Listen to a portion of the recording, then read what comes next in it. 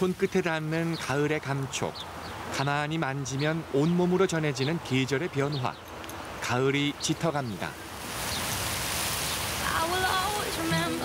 가을이라는 계절이 이렇게 아름답고 예쁜지 예전에 미처 몰랐습니다. 저도 나이가 들어서 그런 거라고요?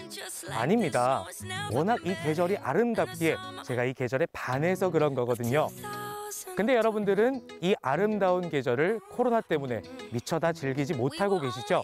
그래서 제가 오늘 강릉의 가을을 여러분들 안방까지 전달해 드리려고 합니다.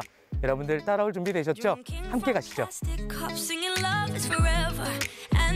짧아서 더욱 아름답고 그래서 더욱 미련이 남는 계절 가을. 새파란 하늘 아래 펼쳐진 산과 바다 그리고 들녘의 풍경은 마음을 두드립니다. 길을 따라 걸으며 만나는 가을 풍경 함께 떠나봅니다.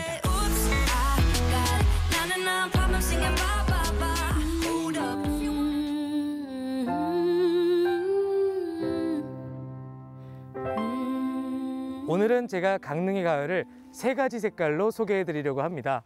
첫 번째 색깔은요. 가을을 닮은 브라운입니다. 해사한 봄꽃이 4월을 닮았다면 가을꽃은 차분한 빛깔을 뽐냅니다. longer if I can. 수학의 계절, 추수가 끝난 빈 들녘이 못내 아쉬웠는데 팝콘이 터진 듯 앙증맞은 꽃잎이 내려앉았습니다.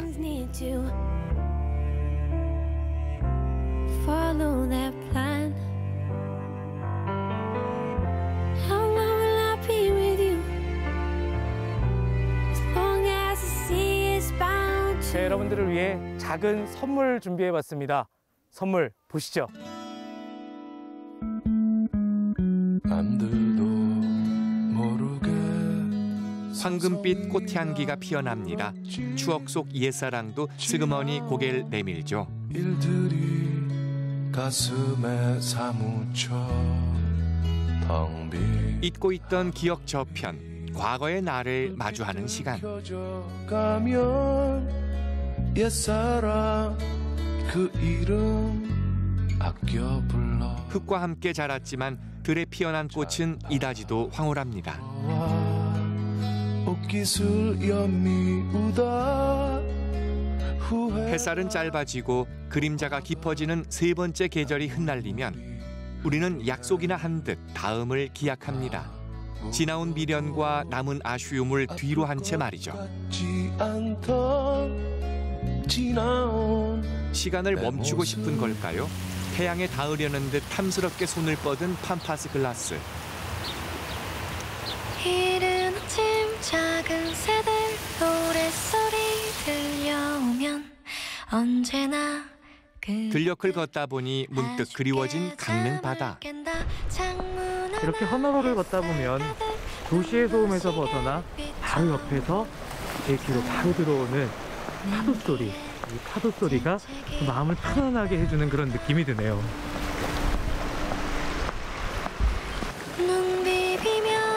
푸르른 바다와 산이 맞닿은 곳. 바다와 가장 가까운 길 강릉 헌화로. 꼬불꼬불 굴곡이 심하지만 내다 보이는 바다의 풍경은 에메랄드 빛으로 출렁이며 보는 이의 마음까지 일렁이게 만듭니다. 효과를 알 수 없는 약수가 하나 강릉하면 바다를 빼놓을 수 없죠. 이곳은 바다를 바로 옆에 두고 있어 가을 바다를 만끽하기 더없이 좋은 곳입니다. 강릉의 가을, 이번 색깔은 파랑입니다.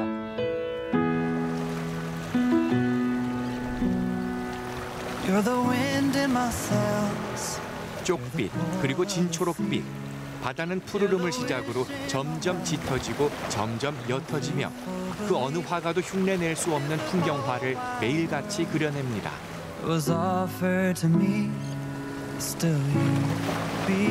여름 바다도 겨울 바다도 있지만 가을 바다만의 매력 또한 있는 것 같습니다. 이 가을 하늘과 그리고 바닷빛이 어우러져 마치 파스텔 톤의 아름다운 광경이 펼쳐지네요.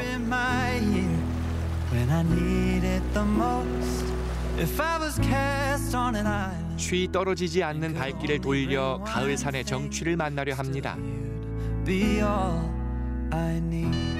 툭툭 물감을 찍어 놓은 듯 산은 어느새 화려한 옷을 갈아입었습니다. 강릉의 가을을 대변하는 또 다른 빛깔, 이번 빛깔은 붉은 빛입니다. 이 붉은 빛을 만나기 위해선 이곳이 최고죠. 바로 모정탑입니다. 오늘은 이곳 강릉시 왕산면 노추산 이곳 산기슭은 돌탑의 사연이 하늘에 닿아 있습니다.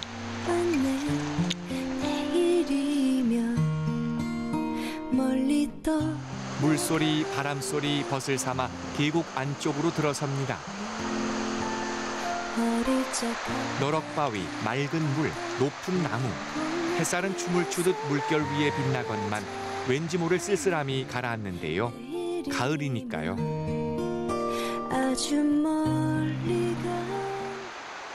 자연의 힘으로 만들어진 창조물들. 그런데 그 사이를 뚫고 자리를 잡은 건 어머니의 정성이 빚은 돌들의 이야기입니다. 이곳은 단풍 구경하기 너무 좋습니다. 그리고 돌탑의 위용을 느끼면서 여러 가지 상념에도 빠질 수 있다고 하는데요. 함께 올라가 보실까요?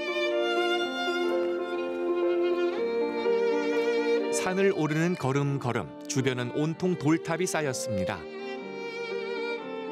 3천 개의 탑. 가정이 평온하길 바라는 마음 하나로 매일같이 돌을 날라 높이 쌓아야 했던 어느 어머니의 마음. 외로움과 고통은 가족들을 위한 마음 앞에 그저 작기만 했을 겁니다.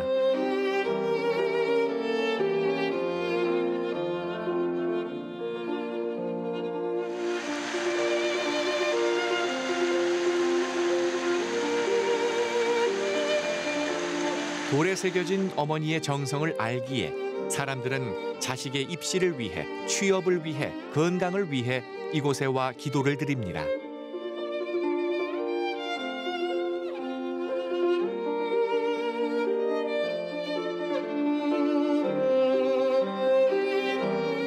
저도 기도를 드렸는데요.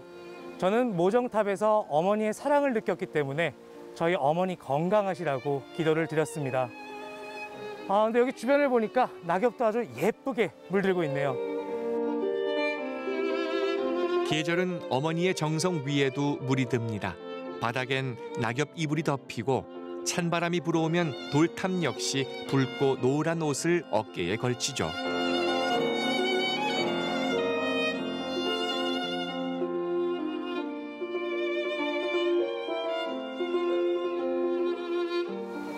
어떠셨나요? 오늘 저와 함께한 가을 나들이 제가 다녀온 곳을 직접 가보시는 것도 좋겠지만 때가 때이니만큼 영상으로 바라보기에도 충분하지 않으셨나요?